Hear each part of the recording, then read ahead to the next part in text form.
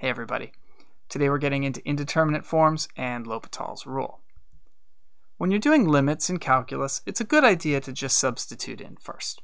If nothing goes wrong and you just get a number back, you're probably good to go. One of the most common things that can go wrong when you try substituting in is that you get a 0 over 0 or infinity over infinity, as in this example. Those are what we call indeterminate forms, and that literally just means we haven't determined the answer yet. When you get a limit that looks like 0 over 0 or infinity over infinity, the actual limit could be 0, infinity, or anything in between. We have to do more work to figure out which. One comment here, when I say that that limit is equal to 0 over 0, um, that's not, not literally true. 0 over 0 isn't even a number, so it can't be equal to something else. It's just notation that means that the limit has that form. L'Hopital's rule is a quick and easy way of dealing with indeterminates that have the form 0 over 0 or infinity over infinity. It says that when you're doing a limit like that, you can differentiate the numerator, differentiate the denominator, and then take the same limit. And you should get the same answer. Um, let's do one simple example and then move on to a couple of more complicated ones. Limit as x goes to 0, sine of x over x. So I try plugging in Sine of 0 is 0, so this is a 0 over 0 form. L'Hopital's rule says I can differentiate the top, cosine x, and differentiate the bottom, 1, take the same limit, and get the same answer. This limit's easier. This one I can do by substituting in.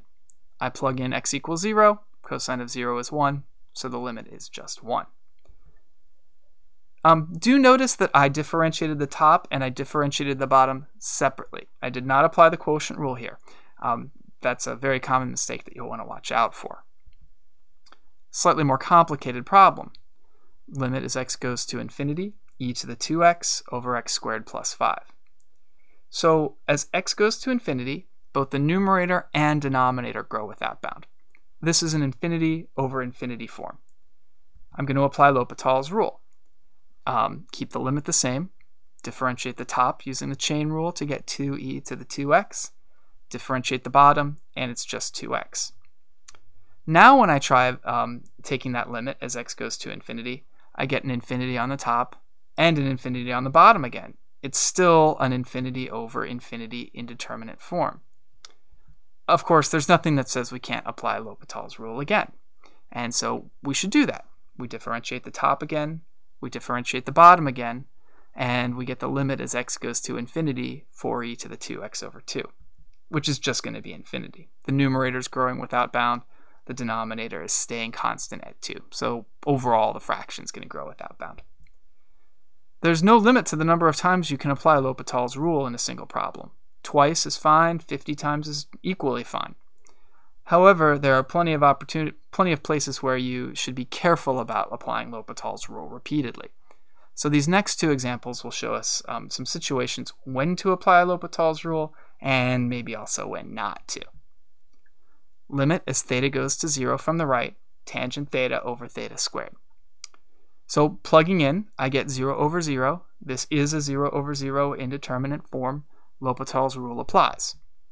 I differentiate the top, differentiate the bottom, keep the limit the same. So before you charge in and do L'Hopital's rule again, you should always remember to substitute in and make sure that you actually have an indeterminate form. Here I do not because the secant of 0 is 1.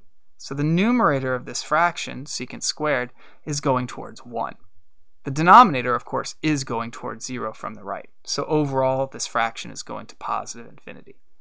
If I had applied L'Hopital's rule a second time here, I would have gotten the wrong answer. So that's a, another common mistake to really watch out for. Let's do another example. Limit as x goes to infinity, natural log of x over the square root of x. This is another infinity over infinity form. Both the natural log and the square root are growing without bound as x goes to infinity. So I apply L'Hopital's rule. Keep the limit the same, differentiate the top, differentiate the bottom, x to the negative first over 1 half x to the negative 1 half.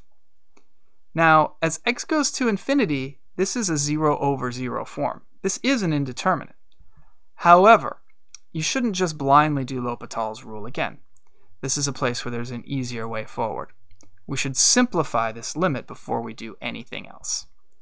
So x to the negative 1 over 1 half x to the negative 1 half is equal to 2 over x to the 1 half. And this very clearly goes to 0. So even though we could have applied L'Hopital's rule here, things are a lot easier if we don't. And in fact, if we had applied L'Hopital's rule a second time, and you should try this on your own, the problem doesn't actually end up getting any easier. The limit we get is, is no simpler than the one that we have there.